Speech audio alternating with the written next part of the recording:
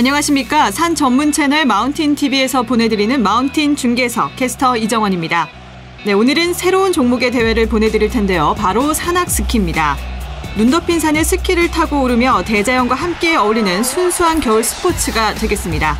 네, 대한산악연맹 강원도체육회 아시아 산악스키 연맹이 공동 주최하고 대한산악스키협회가 주관한 2015 아시안컵 산악스키 대회 겸 제12회 강원도지사배 전국 산악스키 대회를 보내드립니다.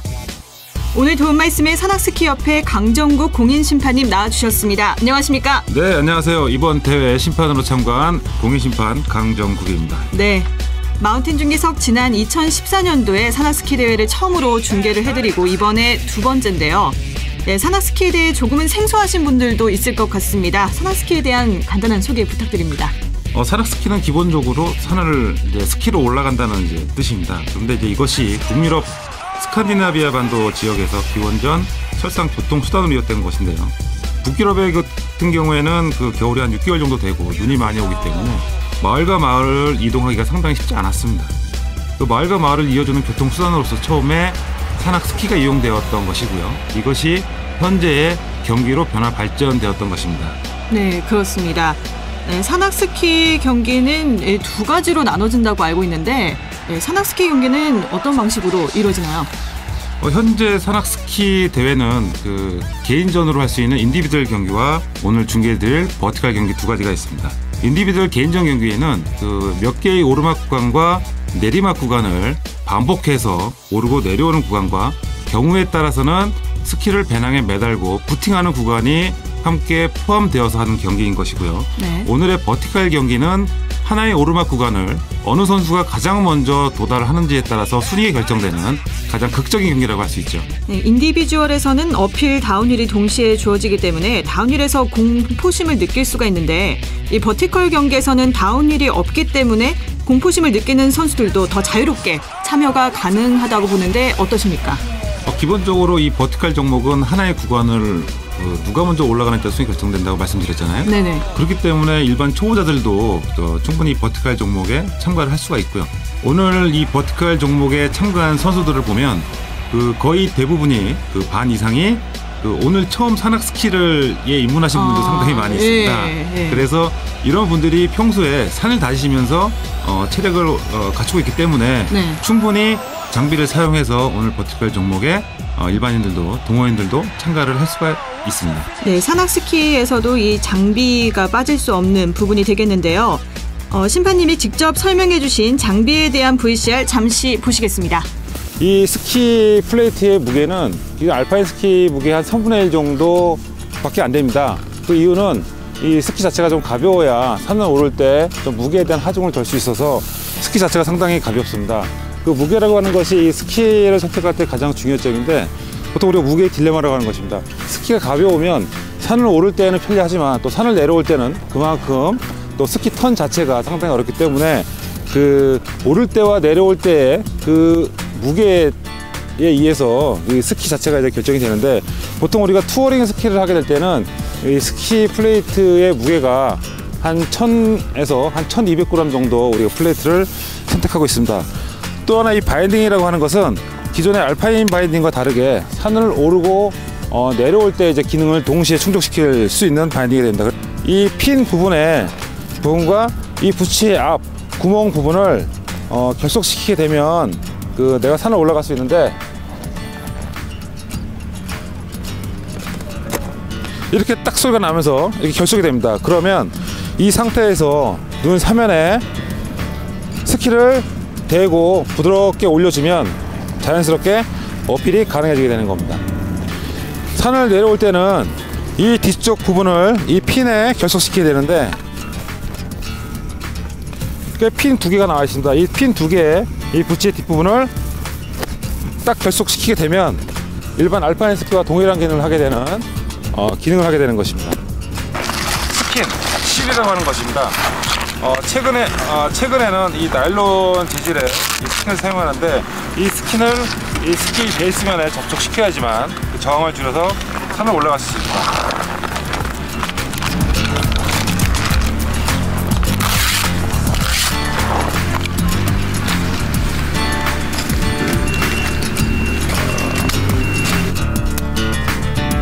앞에 스키 base면에 이 seal이란 도구를 붙이게 되면 이 skin의 결이 한쪽 방향으로 되어 있기 때문에 산을 올라갈 때는 그 결이 방향이 정방향으로 되어 있기 때문에 자연스럽게 올라갈 수 있습니다. 하지만 사면에 내가 써 있을 때는 이 결이 역방향에 걸리기 때문에 이 역방향에 걸리는 이 그 수많은 털들이 그 눈을 잡아주기 때문에 우리가 눈높이 사면에서도 어, 운행을 정지할 때 그 우리가 서 있을 수 있는 그런 기능을 하는 도구입니다. 아, 이 눈높이엔 그 얼마 남지 않은 겨울을 그 그냥 바라보만 볼 것이 아니고 이 눈 속에 자신을 담가보면 그러면서 이 산악 스키를 이용해서 어, 산을 오르는 즐거움을 한다면 어, 얼마 남지 않은 이 겨울 여러분들에게 또 다른 행복과 추억을 가져다 줄 것입니다. 네, 그러면 지금부터 2015 아시안컵 산악스키 대회 겸 제12회 강원도지사배 전국 산악스키 대회 vertical 경기 함께 하시겠습니다.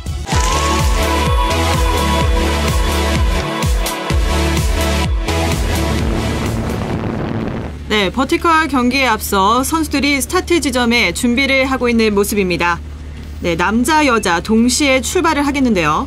어, 오늘 vertical 경기에 참가한 선수는 남자 그 63명 그리고 여성 4명에서 총 67명이 이번 vertical 경기에 참가하게 되었습니다.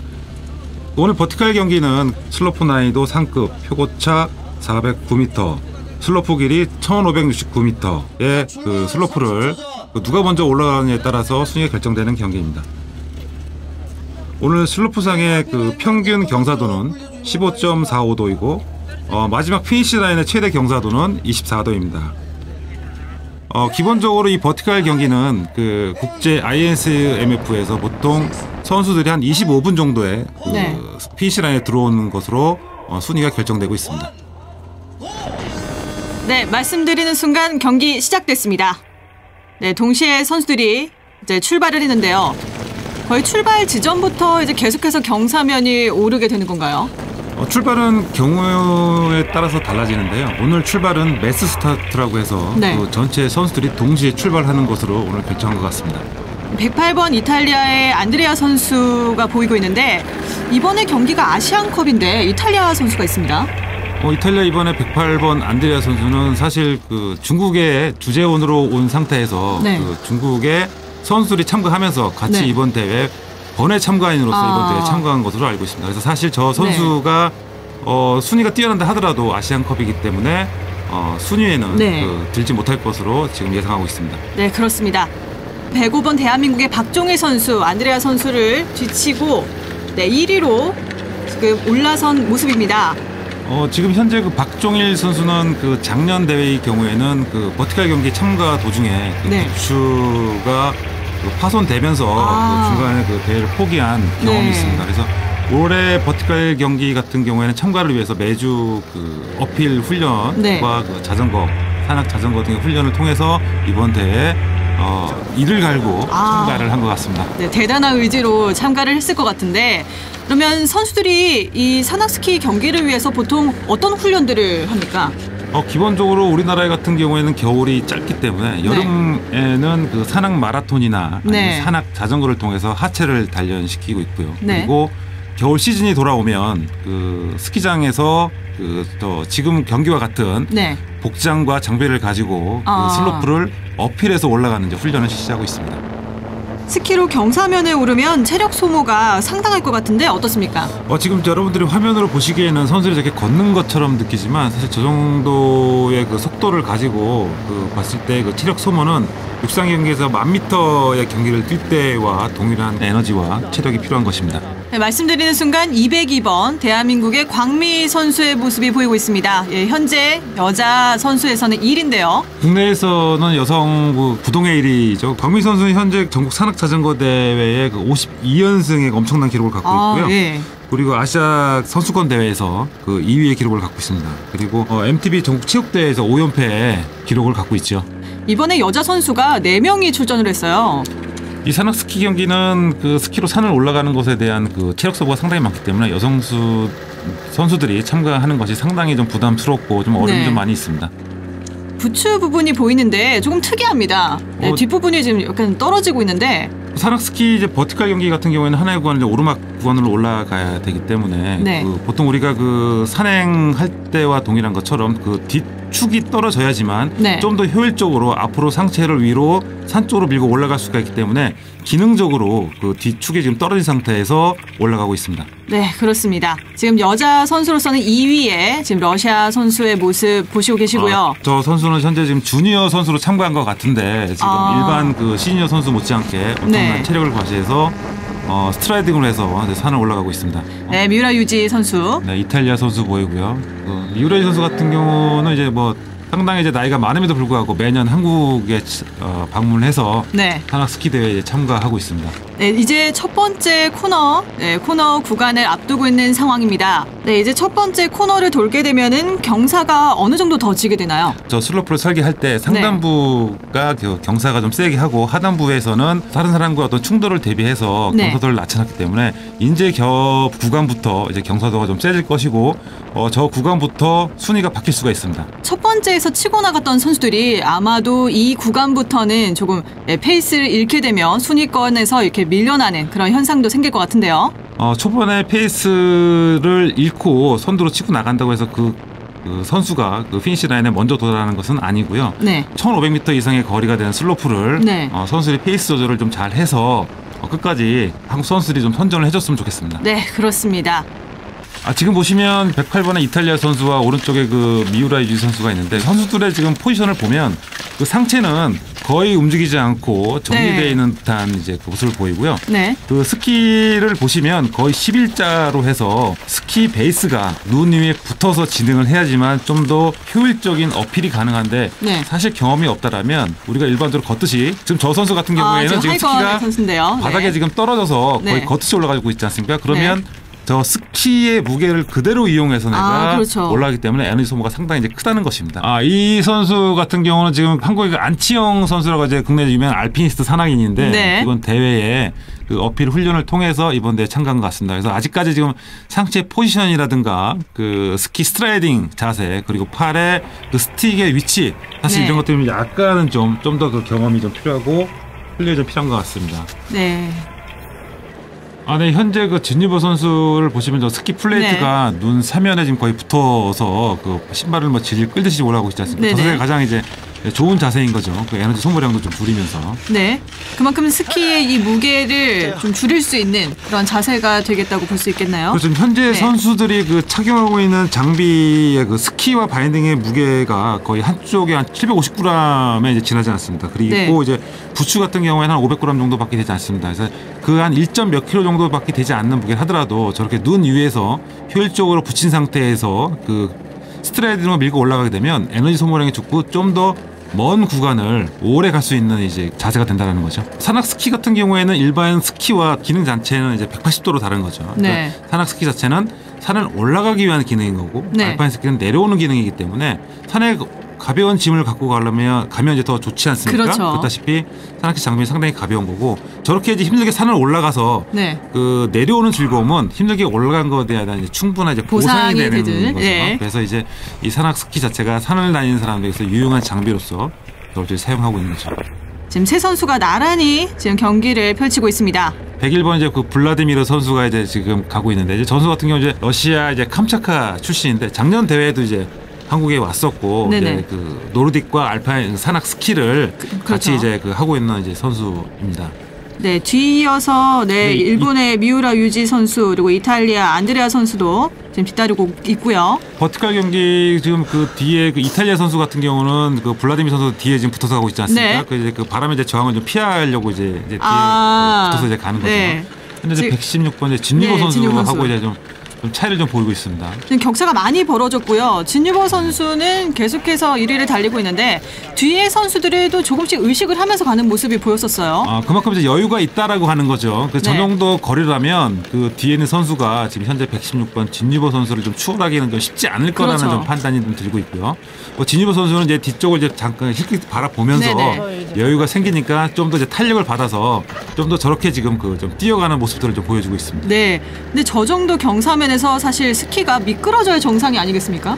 지금 현재 선수들이 그 착용하고 있는 그 스키 플레이트 밑바닥에는 그 실이라고 하는 그 인공적인 도구가 지금 붙어 있습니다. 네. 그래서 이제 그 CD를 이용해서 저렇게 스키가 이제 산을 올라가고 있는 건데, 네. 어, 그 CD라고 하는 것이 선수들이 착용하는 경우에는 일반 산악 스키하고 하는 것과 약간 좀 다른 네네. 재질의 실을 사용하고 있고요. 그래서 이제 그, 그 실로 인해서 그 털이 한쪽 결로만 되어 있기 때문에 저렇게 뒤로 미끄러지지 않고 네. 앞으로만 전진해서 이제 올라갈 수가 있는 것입니다. 아, 그러, 그러면은 더 경사가 이렇게 저도 저런 부분을 지탱하면서 올라갈 수 있다. 이런 말이 되겠죠? 아, 충분하죠. 이 산악 스키 어필 경기는 그 선수들뿐만 아니라 일반 동호인들의 경우에도 충분히 참가할 수가 있고요. 이번 대회에 그 선수 등록한 분들을 좀 보면 어, 이 산악 스키에 대한 경험이 없는 상태에서 오늘 장비를 처음 착용한 상태에서 네. 어, 이 대회에 참가하신 분들이 좀 계십니다. 아, 지금 진유보 선수 거의 뛰었어요. 네, 지금 그 상당히 좀 여유를 좀 많이 좀 보이고 있네요. 네.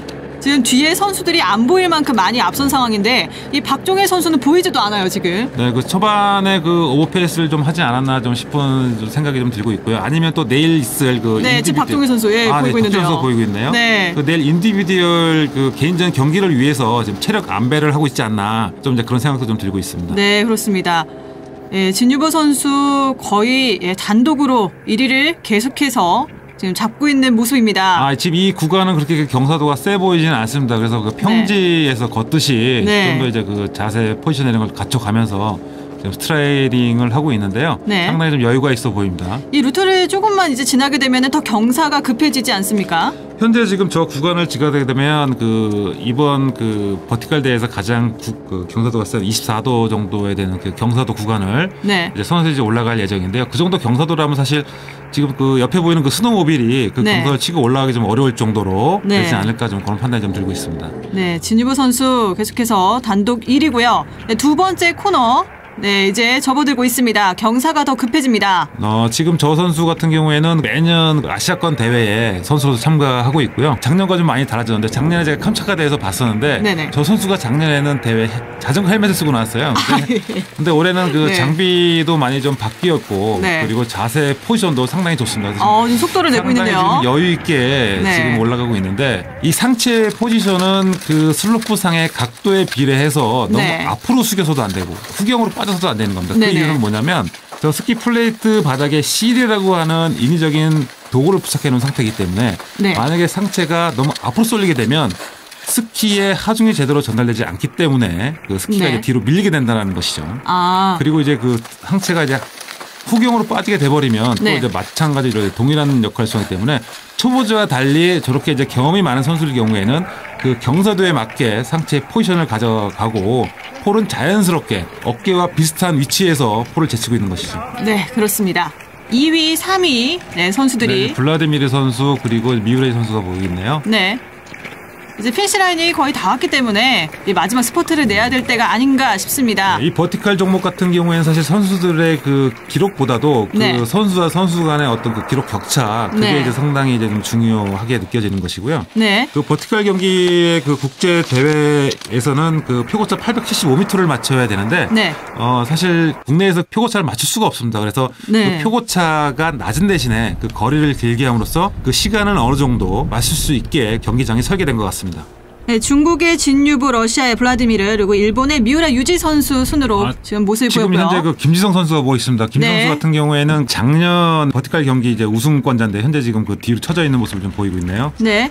네, 광미 선수도 이제 마지막 슬로프를 오르는 모습이 아까 전에 보였었고요. 어, 지금 그 화면에 보이는 것처럼 경사도가 상당히 좀 그 구간이 급해 보입니다. 이제 이 네. 구간에서 경험이 없는 선수들은 이제 뒤로 밀릴 수가 있는데요. 그 밀리는 것들이 영상에 보일지 모르겠지만 뭐 시청자들이 볼 때 그것도 하나의 좀 재미가 있지 않을까 좀 그런 생각이 들고 있습니다. 네, 그렇습니다. 지금 미우라 유지 선수가 좀 보이고 있고요. 아 김지성 선수가 보고 있습니다. 네, 김전 선수. 김 선수 같은 경우에는 2013년도 산림청장배 대회 때 그 처음 참가해서 네. 그 두각을 나타내기 시작했고요. 그리고 이제 작년 대회 같은 경우 이제 버티컬 대회 1위를 했고 네, 그렇죠. 올해 좀 지켜볼 만한 선수인데 좀 뒤로 네. 쳐져 있는 모습에 네. 좀, 좀 안타깝네요. 네, 그렇습니다. 예, 지금 러시아의 블라디미르 선수가 지금 올라가고 있고요.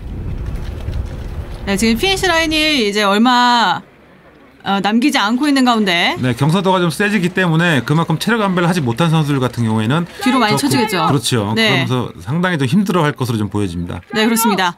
아, 지금 경사가 상당합니다. 네, 경사가 세질수록 선수들의 그 상체 포지션이 좀 앞으로 올라가고 있지 않습니까? 네. 그만큼 그 스키 면에 그 체중을 제대로 실어야지만 스키가 뒤로 밀리지 않거든요. 네. 근데 저 상태에서 상체가 제대로 자세 잡지 못한다라면 저런 센 경사도 같은 경우는 이제 뒤로 밀리게 된다는 것이죠. 아. 지금 피니시 라인이 지금 보이고 네, 있나요? 그렇습니다. 네, 지지부 선수 여전히 1등으로 지금 올라가고 있습니다. 네, 진유구 선수는 이렇게 되면 거의 1위가 확정이고요.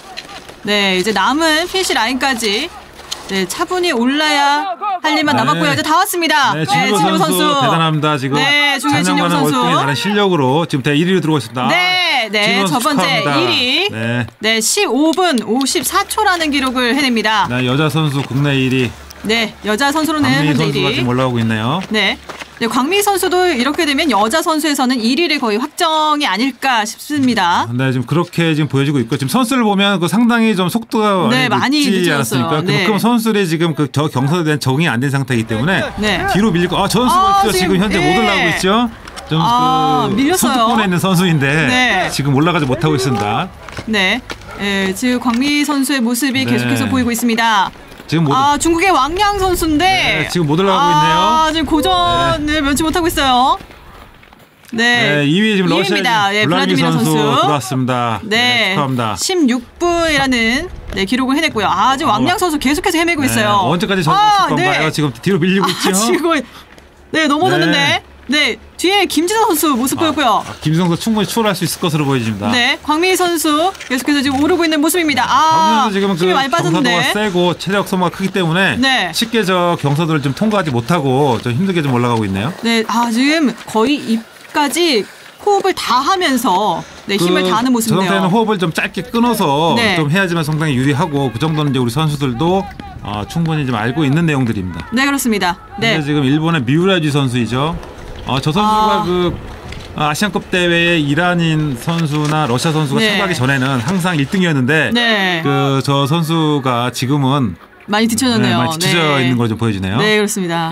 네, 그래도 3위입니다. 네, 네. 그래도 대단합니다. 많은 나이임에도 불구하고 네, 저렇게 네. 계속해서 선수로서 왕성히 활동하는 걸 보면 그렇죠. 아, 정말 우리 한국 선수들이 좀 본받아야 되지 않을까 네. 그런 생각이 좀 들고 있습니다. 네, 그렇습니다. 네, 미월 네. 선수 지금 그 네. 피시에 들어왔습니다. 네, 미우라 유지 선수 17분 50초라는 기록을 해냈습니다.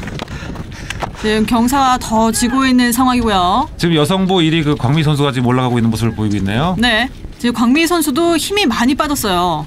네, 지금 광미 선수도 지금 버티컬 코스가 사실 이렇게 길 거라고 생각하지는 못했을 겁니다. 네. 현재 그 야마다 선수입니다. 야마다 선수 같은 경우에도 그 한국에 이제 매년 대회 참가한 선수이고요. 김지성 선수가 아까 중국의 왕양 선수가 아, 네. 미끄러지는 틈을 타서 지금 네. 앞으로 치고 올라오는 것 네, 같습니다. 추월을 했어요. 작년 이 대회 우승권자인데 아, 현재 지금 그 4위로 지금 피니시 네. 라인을 지금 들어오고 있습니다.